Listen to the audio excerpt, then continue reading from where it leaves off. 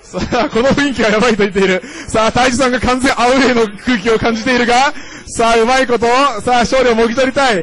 さあ、遠心札はスカッター。さあ、カツで返したさあ、手食いさあ、ダッシュ、投げさあ、これは痛い。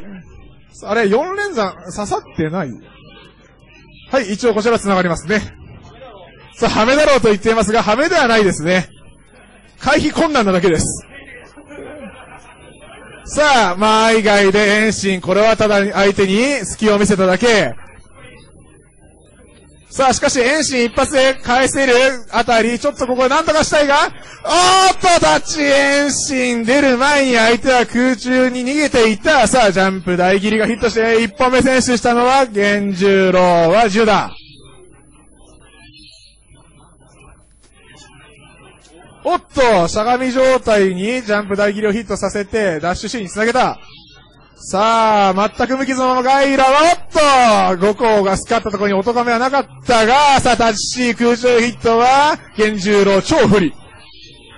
さあ、勝が、えー、ジャックギル前がヒットして、さあ、大幅リードを奪っているガイラだが、さあ、裏回り、ヒット、裏裏でした。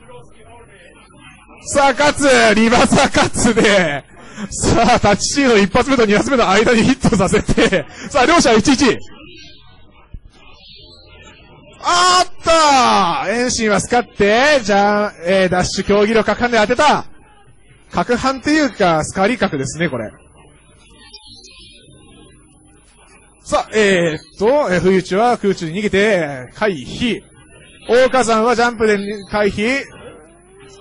届かなかった2発目届かないところを、さあ、おっと3発目は判定の持続時間は長いです。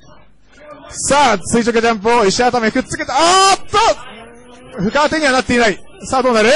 さあ、ダッシュ投げ。そして、さあ、ここから、どうするの？どうすんの？どうすんの？何やるんださあ、さあ、1B やるから何やればいいんだけど。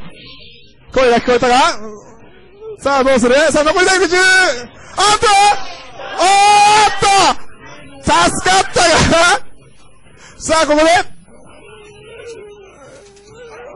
焦点。さあ、残り3秒、2秒。コールディート。勝ったのー。大樹ガイラー最後、ぐだりすぎだよ、お前ら、マジ。すっげえぐでえ、最後